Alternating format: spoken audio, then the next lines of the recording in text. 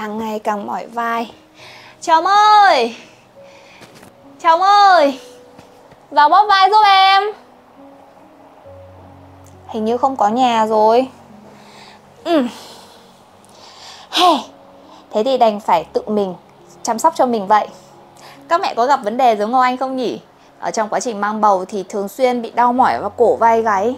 Và không phải lúc nào cũng có những người thân xung quanh để hỗ trợ cho mình.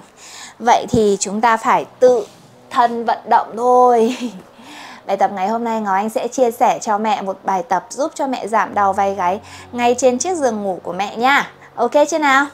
Thế thì chúng ta sẽ cùng ngồi trên giường và thả lỏng cơ thể của mình ra để bắt đầu vào với bài tập ngày hôm nay cùng cô Nai Yoga nhé. Đặt hai tay lên đầu gối và mẹ thả lỏng cả hai vai của mình. Ngồi thẳng lưng. Từ từ mẹ nhắm mắt lại, chúng ta điều hòa hơi thở của mình nào. Hít sâu.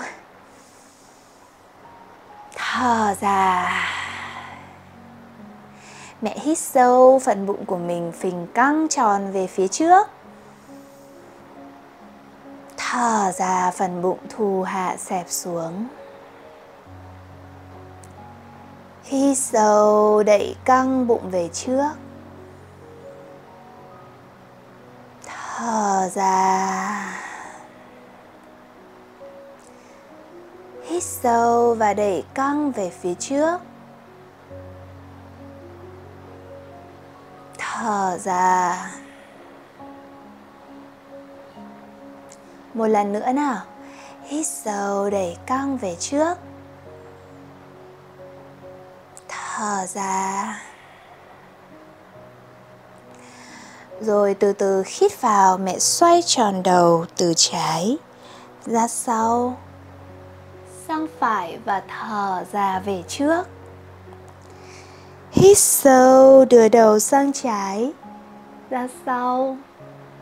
Sang phải Và thở ra. Tiếp tục hít vào. Thở ra. Mẹ đổi chiều và xoay ngược lại nào. Hít sâu sang phải. Ra sau. Sang trái. Thở về trước.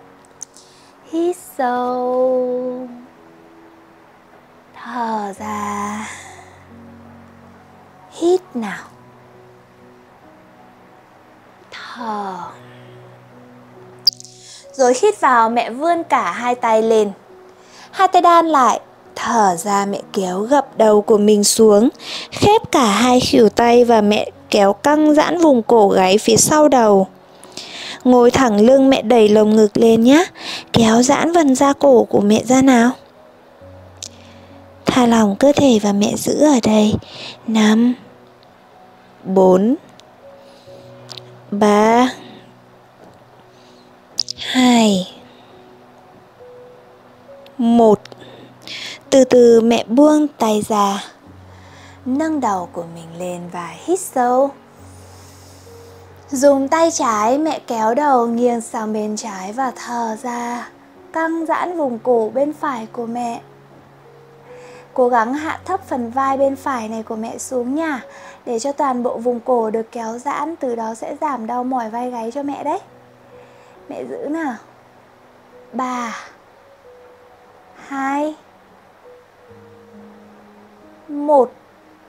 Rồi giữ nguyên ở đây. Từ từ mẹ xoay đầu của mình hướng đầu nhìn xuống dưới đùi bên trái.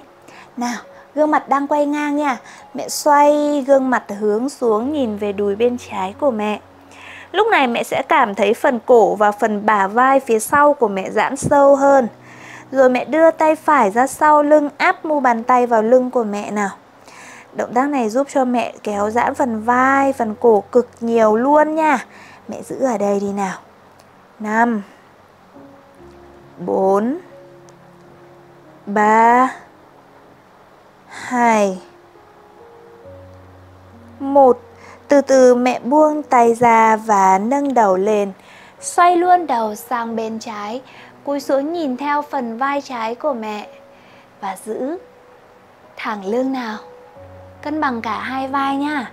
5 4 3 2 1 Rồi hít sâu, mẹ vươn tay phải của mình lên.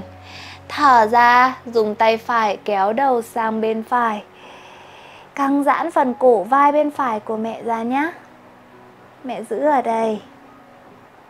5 4 Bà, hạ thấp phần vai trái của mẹ xuống đi nào. 2 1 rồi tiếp tục xoay đầu sang, cúi đầu nhìn xuống dưới đùi bên phải của mẹ. Căng giãn phần cổ và bả vai bên trái phía sau. Rồi mẹ đưa tiếp tay trái ra sau lưng, áp mu bàn tay trái vào lưng của mẹ nào. Gập đầu xuống và chúng ta giữ tĩnh ở đây. 5 bốn, ba, hai. Một, từ từ mẹ chống tay xuống thảm, nâng đầu lên và xoay luôn sang bên phải. Nhìn theo hướng vai bên phải của mẹ, Vẫn giữ cho toàn bộ phần lưng của mình thẳng nha. Ưỡn ngược lên. Tiếp tục giữ. 5 4 3 2 1 Hít vào từ từ mẹ xoay đầu lại và thở ra. Tiếp tục, hai tay mẹ đan lại phía trước mặt của mình. Hít sâu, rồi thở ra từ từ mẹ đẩy căng giãn cánh tay của mình về phía trước. Hãy duỗi thẳng căng tay, đồng thời hai vai của mẹ hạ thấp xuống.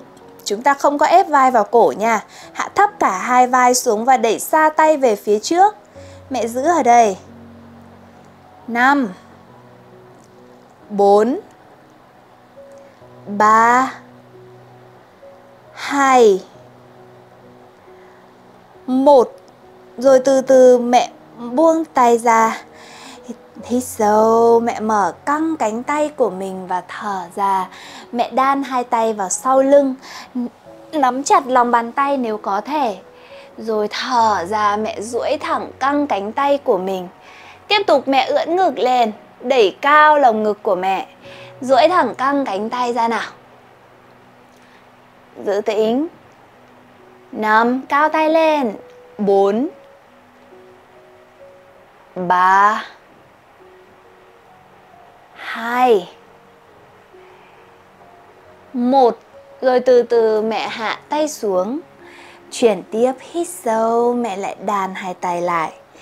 Thở ra lúc này mẹ đầy thẳng căng cánh tay lên trên đầu. Nhớ là mẹ sẽ hạ lỏng hai vai của mình xuống nha.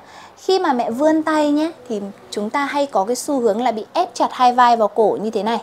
Thì động tác này sẽ làm cho mẹ bị mỏi cổ Nên mẹ sẽ phải thả lỏng phần vai cổ ra. Đây, thả lỏng xuống Và cố gắng đưa tay ra phía sau thật nhiều. Giữ ở đây. 5 4 3 2 1 rồi từ từ mẹ buông tay ra, đặt tay lên đầu gối của mình và hít sâu. Thở ra mẹ cuộn người lại, nhìn xuống dưới bụng của mình nào thả lỏng cơ thể và nhìn xuống dưới bụng của mình. Năm. Bốn. Ba. Hai. Một. Rồi mẹ nâng thần lên. Tiếp tục, mẹ duỗi thẳng cả hai tay về phía trước. Lúc này tay trái của mẹ hạ thấp và tay phải của mẹ lên cao. Mẹ đưa vắt chéo cả hai tay. Rồi sau đó mẹ xoay bàn tay hướng xuống, sao cho ngón tay cái của mẹ hướng xuống dưới.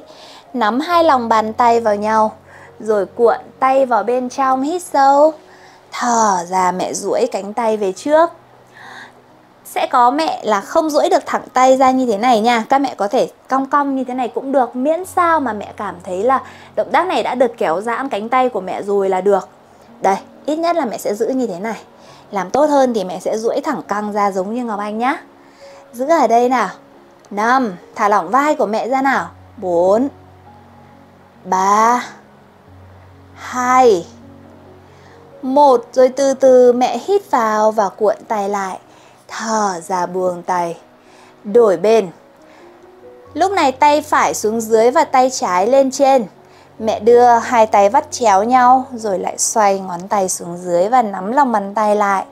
Hít sâu, cuộn tay vào trong và thở ra mẹ duỗi thẳng cánh tay. Tùy theo độ dẻo của cánh tay để duỗi nhé. Miễn sao là cái cánh tay và bả vai của mẹ được căng giãn. Mẹ giữ ở đây.